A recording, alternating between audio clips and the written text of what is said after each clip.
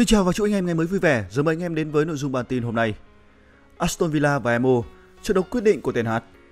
Sự ổn định của Quỷ Đỏ thay Manchester dưới thời huấn luyện viên Erik Ten Hag vẫn bị đặt dấu hỏi khi có hai trận thắng, một trận hòa và 3 trận thua sau 6 vòng đấu. Quỷ Đỏ ghi được 5 bàn để thủng lưới 8 bàn, có được 7 điểm và xếp thứ 13 trên bảng xếp hạng. Đây là số điểm bằng với Brentford nhưng kém hiệu số bàn thắng bại. Rõ ràng cũng không phải là những thông số khiến cho người hâm mộ hài lòng. Và có lẽ thời gian tại vị của Tenat sẽ đếm ngược nếu Man United không có được kết quả tốt trước Aston Villa. Thầy trò huấn luyện viên Unai Emery đang có phong độ khá tốt với 4 trận thắng, 1 trận hòa và 1 trận thua. Ghi được 12 bàn và để thủng lưới 9 bàn. Có được 13 điểm xếp thứ 5 trên bảng xếp hạng. Bằng điểm với Chelsea nhưng kém hơn hiệu số bàn thắng bại. Aston Villa vẫn duy trì được lối chơi rất khó chịu dưới thời Unai Emery và họ thậm chí vừa mới có được chiến thắng trước Bayern Munich ở đấu trường Champions League. Do đó, chắc chắn họ sẽ không ngán ngại khi đối đầu với Man United, đặc biệt lại là thi đấu trên sân nhà. Trong 5 lần gặp nhau trước đó giữa hai câu lạc bộ, Quỷ Đỏ đang chiếm ưu thế với 4 trận thắng và 1 trận thua. Với phong độ như hiện tại, rất có thể đây sẽ là trận đấu chia điểm giữa hai câu lạc bộ. Nhưng có lẽ với rất nhiều cổ động viên của Man United, họ chấp nhận thương đau trong trận đấu này để Quỷ Đỏ sẽ thua, thậm chí là thua đậm. Qua đó, khiến tên hát bay ghế. Theo anh em, kết quả trận đấu này sẽ là như thế nào nhỉ? Lãnh đạo MU họp khẩn về tương lai của Ten Hag. Tương lai của Erik Ten Hag tại Manchester United đang trở nên bấp bênh trước trận đấu tại ngoại hạng Anh vào hôm nay trên sân khách với Aston Villa. Theo nguồn tin, ban lãnh đạo của Man United sẽ họp vào thứ ba tuần tới tại London, chỉ 48 giờ sau trận đấu, có thể là trận đấu cuối cùng của Ten Hag trên cương vị huấn luyện viên. Người đàn ông người Hà Lan đang chịu áp lực, vị trí của ông có thể bị đe dọa nếu Quỷ Đỏ phải chịu thất bại thứ năm trong mùa giải trước Aston Villa. Vào thứ năm tuần trước, Man United dường như đã sẵn sàng giành chiến thắng đầu tiên sau 4 trận khi Quỷ Đỏ dẫn trước Porto hai bàn ở Europa League. Nhưng đội của Ten Hag đã đánh mất lợi thế dẫn trước một lần nữa và thấy mình bị dẫn 3-2 với chỉ 10 người trên sân khi thời gian sắp hết. May mắn cho huấn luyện viên của Man United, Harry Maguire đã cứu vãn được tỷ số hòa 3 đều, mặc dù chỉ còn 10 người khi Bruno Fernandes bị đuổi khỏi sân. Thất bại trước Aston Villa có thể là bước ngoặt khi những người đứng đầu câu lạc bộ sẽ họp để thảo luận vào tuần tới. Theo tờ Mirror, cuộc họp sẽ được lên lịch diễn ra tại văn phòng Washington của câu lạc bộ với Joan Glazer dự kiến sẽ tham dự sau khi bay từ Hoa Kỳ về. Glazer, người vẫn tiếp tục giữ chức đồng chủ tịch điều hành của câu lạc bộ, có thể sẽ tham gia cùng với đồng sở hữu Sir Jim Ratcliffe, giám đốc thể thao của Ineos Sir Dave Bradford, giám đốc điều hành của Man United Omar Bertoda, giám đốc thể thao Dan Ashworth và giám đốc kỹ thuật Jason Wincox, giám đốc tài chính Joker Bells và giám đốc điều hành Colin Rochi cũng được dự kiến sẽ có mặt. Báo cáo khẳng định rằng tương lai của Ten Hag, người hiện đang ở mùa giải thứ ba sau khi đã chi 600 triệu bảng Anh cho các bản hợp đồng mới vào mùa hè, có thể hoặc là không bị nhắc tới trong buổi họp này. Phát biểu với BBC Sport vào thứ Sáu, Sir Jim Ratcliffe đã kiềm chế, không bình luận về tình hình của thầy nát. Ông tuyên bố rằng bất kỳ quyết định nào liên quan đến tương lai của huấn luyện viên sẽ do Berada và Ashworth đưa ra. Tỷ phú người Anh cho biết, tôi thích Eric, ông ấy là một huấn luyện viên rất giỏi, nhưng cuối cùng thì đó không phải là quyết định của tôi. Đội ngũ quản lý điều hành Manchester United phải quyết định cách chúng ta điều hành đội bóng tốt nhất theo nhiều khía cạnh khác nhau. Nhưng đội ngũ điều hành Man United chỉ mới hợp tác với nhau từ tháng 6 hoặc tháng 7. Họ không hề có mặt vào tháng 1, tháng 2, tháng 3, thậm chí là tháng 4. Oma, Dan Ashworth, họ mới chỉ đến vào tháng 7 mà thôi. Họ mới ở đó, bạn có thể tính bằng vài tuần. Vì vậy họ cần phải đánh giá và đưa ra một số quyết định hợp lý. Bất chấp sự không chắc chắn xung quanh vị trí của huấn luyện viên, Sir Jim vẫn rõ ràng về nhiệm vụ phía trước của Man United. Ông nói, mục tiêu của chúng tôi rất rõ ràng.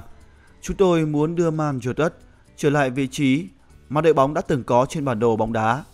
Rõ ràng là Quỷ Đỏ vẫn chưa đạt đến mức độ đó ở thời điểm hiện tại. Và điều đó cho thấy chúng tôi vẫn còn rất nhiều việc phải làm. Với những gì đang xảy ra, anh em có thấy Ten Hag xứng đáng bị sa thải hay không? Hãy cho ý kiến ở phần bình luận nhé. MU có sẵn người thay Bruno Man United đang trải qua một giai đoạn khó khăn, buộc Ten Hag phải có những thay đổi ở nhiều mặt.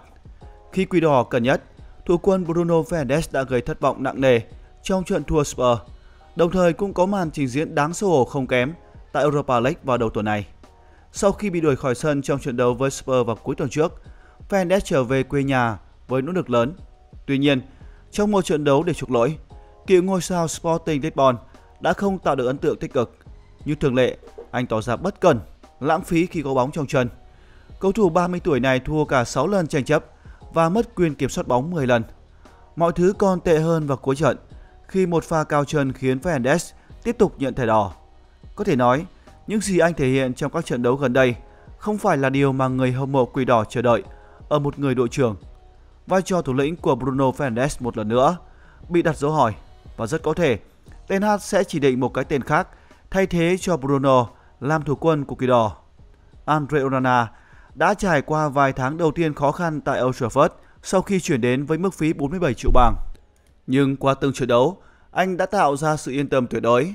Onana có nhiều khoảnh khắc ấn tượng trong mùa giải năm nay, bao gồm một pha cứu thua phạt đền xuất sắc trên sân khách trước Southampton và một pha cứu thua kép tuyệt vời trước Crystal Palace. Thủ môn người Cameroon cũng cho thấy vai trò của mình trong khâu phát triển bóng hoặc việc chỉ huy trước khung thành. Mặc dù hàng phòng ngự của Man United chưa đạt đến tiêu chuẩn cần thiết, Onana vẫn mang trong mình phẩm chất lãnh đạo và sự hiện diện cần thiết của một thủ lĩnh có thể giúp câu lạc bộ thoát khỏi giai đoạn khó khăn hiện tại. Đó là những gì thủ môn 28 tuổi khiến chuyên gia Saka Hislop phải cất lời ngợi ca.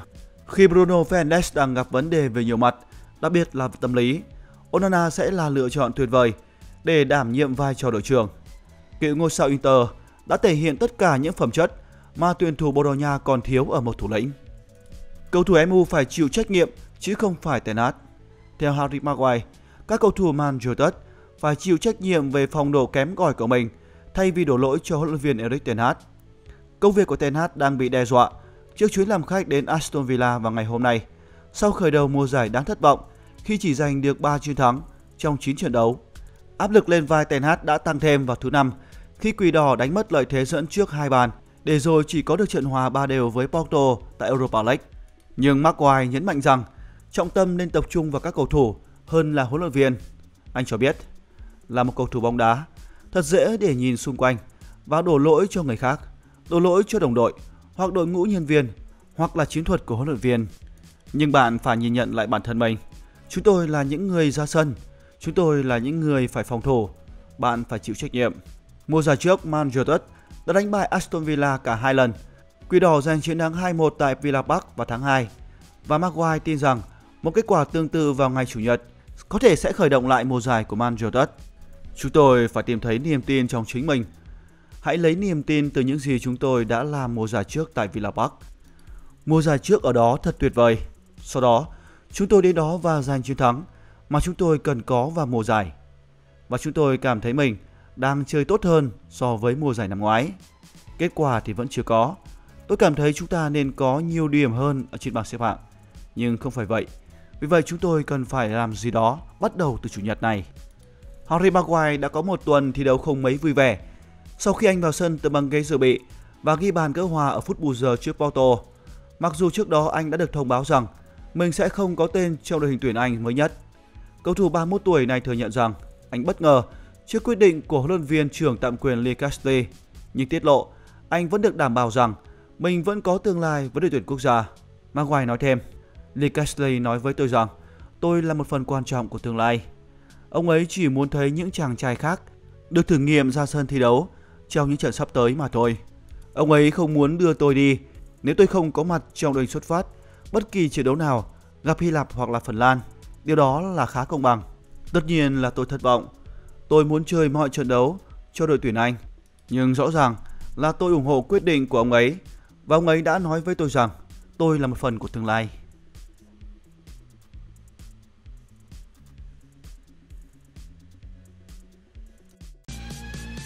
Trên đây là những thông tin nổi bật liên quan đến đội bóng ngày hôm nay. Để cập nhật sớm nhất tình hình của đội bóng thân yêu, mời anh em hãy like, share và đăng ký kênh. Xin trân trọng cảm ơn.